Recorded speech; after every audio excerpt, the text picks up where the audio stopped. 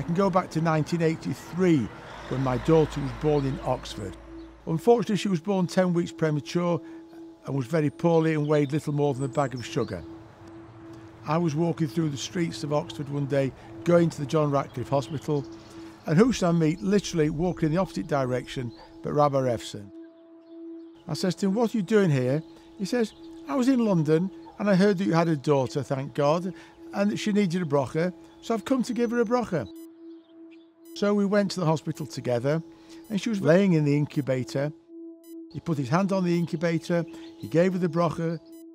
Within two minutes of him leaving the uh, intensive care unit, the nurses were already altering the, the oxygen supply. She no longer needed um, additional oxygen. 30 years later, 30 years later, Rabbi Refson and Mrs. Refson make Sheva brachas for her. Indeed, Rabbi Refson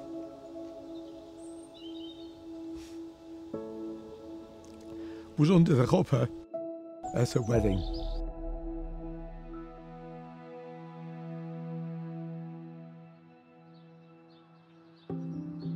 I was first met Dayan Refson through a mutual friend of ours some 20, 30 years ago. I then was saying Kaddish for my late parents. On a number of occasions, Solly used to grab me and take me to the Shomrei Das because Dayan Refson had telephoned him to say they were short of a minyan. It was a very warm gentleman who could relate to everybody and everything. When I met Dayan Refson, his kindness, support, and understanding had like a tremendous impact on me. Uh, and it meant that I, was, I felt very comfortable with my Judaism in ways that I hadn't done previously.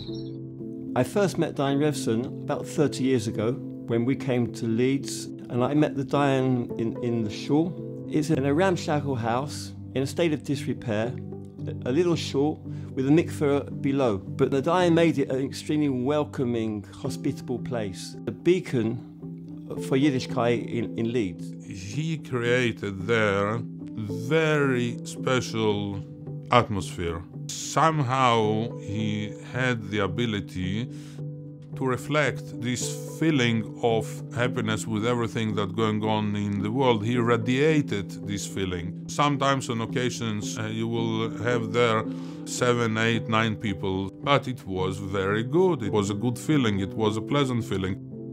On a Shabbos morning, you, they often didn't get the minyan until quarter to 12, half past 11, quarter to 12. We'd be waiting for the 10th man to come.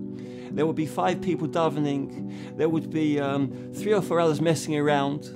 And he would happily sit there, enjoying the company, learning, giving a shiur. That's where he was comfortable. He came from a working class background. His father was a garage owner uh, in Sunderland, and so when he came to Leeds, he understood the average person in the street. He was always one of us. I come from a town in north of England called Sunderland, and that was the home of family Refson. So I remember baby Refson, Zichroin Vracha, and Avdom Chaim Chaim Reb David, and Marina Rabbi Yehuda Refson. Family Refson was a family of Torah and Chesed, uh, well known for that. Sunderland was a city of quarter of a million people. The Yidden started off at the very bottom, as did all Yidden. But very quickly, they all had businesses of their own, and the Yidden flourished there. Yehuda and I grew up in a wealthy home. Each of us had a horse of our own, and we used to ride the horse to shul in the morning. And after which, my mother, Leah Sholem, used to take care of the horse for the rest of the day. My father, Zichron Levracha, tells me a story when he was a young boy in yeshiva, and he came. He came over from the camps, and he came to a yontif, and he literally didn't have a suit for yontif. And the Rosh Yeshiva said, "Don't worry, I'll arrange you to have clothes." And apparently, my father found out that it was a Mr. Refson who had arranged him to have a new suit. Yehuda and I were different in almost every way. And Yehuda started to take a much greater interest in Chabad.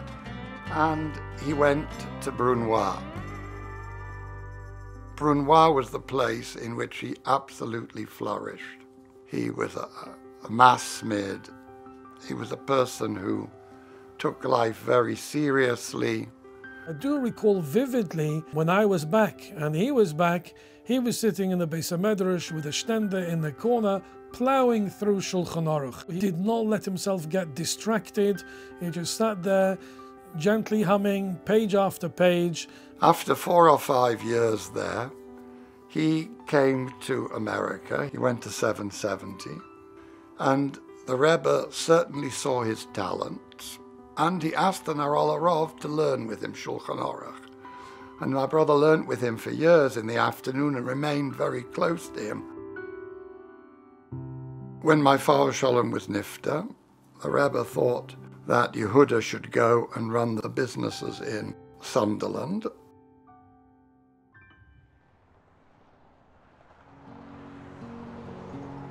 When I first came to Sunderland in 1976, I had nowhere to stay. I met a chap in Leeds and he said, look, uh, there's no problem. You can stay with, um, it was a kind of Chabad hostel. And I rang up, spoke to Mrs. Refson. I said, I'm coming to work in Sunderland. I'd very much like to stay with you. She said, oh, oh, okay.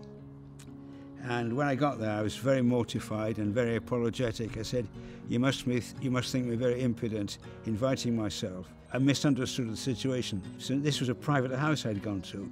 She said, look, now that you're here, you're going to stay. And the first term was 13 weeks. People used to come to the Refson's house to have lessons in, in Hasidus. So I was learning, as these people came and uh, had their lessons, I was listening and I was learning quite a bit. And when I got to Sunderland, I really missed all the sport I'd done. Uh, so I said to Rabbi Huda, I've trained since I was 17 years old. I've never not trained, and I'm really feeling, uh, both mentally and physically, I, am not, I'm not at my best. So Rabbi Huda said, we will train together. So we got a training routine. There was a field near his house. So I and he, we would run around the field a few times. And Avram Abela, who was four, he came along with us. During that time, he came to the notice of the Rabbonim in England, and he went to Leeds, where he was on the Beis Din, and that was the beginning of his, I think it must have been almost 40 years in Leeds. Leeds is a, an Ashkenazi community coming from Russia, Poland. The community was very, very much a working class community not particularly observant. The phrase we used to use in Leeds was middle of the road. People kept Shabbos, they kept Yontif, but to variable standards. There's always been Rabbonim in Leeds, of course, but it's Rabbi Refson's leadership of the Beis Din in the last 30 or so years that's made all the difference. Leeds is a big Yiddish shtad, and to be able to preside over that and to make sure kashrus is correct and shchita is correct and uh, and a mikveh is correct, everything that's proper, that is a big chachma. He had passion for kashrus. To go with him to shchita, it was a real experience. Wintertime, it's a long and nasty drive, and always he drove the car, and he was absolutely relaxed throughout all the way. Everything that he was doing as a Dayan, he loved it. I realized quite early on that the Dayan was a high profile person who liked to keep a low profile. As an expert in, in halacha, he would be asked questions by people from all over the world, um, complex questions and, and, which he would answer and which he would give advice on. And he never made a fuss about anything he did. It was always done quickly and quietly, as a true chassid does. As a person, he was an anav. He was an anav. He was not someone who shouted his virtues. He was uh, not someone who gave sort of shrill psokim and had his name everywhere. He was a person who worked on himself constantly to become less judgmental, to become more, more patient with people. And he always looked to help people, the underdog, he would look to help them. And he set an example there for, for the other Rabbonim in Leeds and gave them backbone too. I remember when one of his sons was having his bris in Leeds and the room was full of Rabbonim, Dayanim, and Rabbi Refson says to me, Daven for the Omid. I says, how can I daven for the Omid? You're the um, Baal Simcha, it's your privilege to do so. Yes, it's my privilege, he says, but it's also your parents' yahrzeit. How can I daven in front of all these Rabbonim and um, Dayanim, as I say, knackers? He says, don't be worried about that. You don't judge a person by their clothing. Once you take the hat and the coat off, underneath they're no different to your eye. Whenever he contacted me, Dayan Refson always referred to himself as Yehuda, but I always called him Dayan Refson. But at this meeting that I had to have at my office with Dayan Refson and two gentlemen that were coming from out of town, they kept on calling him Julian, and it went on and on. And I was always calling him Dayan Refson. But eventually, Dayan Refson just looked at me with that smile of his and the twinkle in his eye as if to say, Don't worry about it. He was really quite hilarious. One day I rang him up. I was quite concerned because I collect Russian dolls and they're displayed um, all round the front room on sort of display racks. And I started worrying and I said to him, I'm just a bit worried that, that with all these little faces staring at me, it's a bit like idolatry. Do you think it might be a bit of avodah zorah? There was a little pause over the phone. He says, hmm, interesting. And then he said to me, Well, do you prostrate yourself onto the carpet before them on a daily basis? And I said, No, absolutely not. And he said, Well, I wouldn't worry too much about it. The real chokhmah in terms of him being a dayan in a senior rabbinic capacity was holding on to the values, but at the same time presenting it in a loving, appropriate way whereby people accepted it. He, in a gentle way, managed to hold tight onto what was correct, proper, appropriate, and needed for the town and by definition, therefore, for greater Anglo Jewry, he was able to hold tight onto that. Apart from his family, the school was the dearest thing to his heart. The school was set up by the Refsons around about 45 years ago under the, the guidance and the, and the bracha of the Rebbe. There are now many, many Rabbonim, Shluchim, leaders of communities, and hundreds of families passionate about Yiddishkeit, living all over the world who had their roots in Menorah School. I grew up in Leeds um, and both the school that I attended in davened at and the school that I went to um, were under the leadership of Dayan Refson, um, Alav Shalom of blessed memory. The ethos of the school, it was to teach the children all they needed to know, all the skills they needed to know to live an, a, a totally observant, from life, but also, much more importantly, to fill them with, with a passion and a love of Yiddishkeit. Uniquely, though, for Rabbi Refson was his um, ability to empower and inspire us to do things. It was just a few weeks after my bar mitzvah, which was in August, and he said to me, you know, you should be reading the Megillah.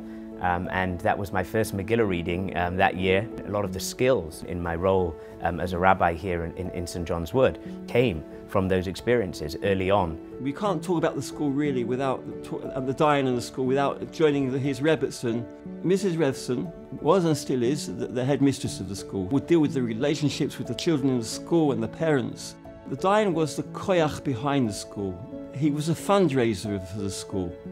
He was an excellent teacher in the school. He was even a fixer. We still have his screwdrivers and his drills still here, which he would then take out and use to fix the doors and anything else that needed doing. He was totally absorbed and, and almost obsessed with the school.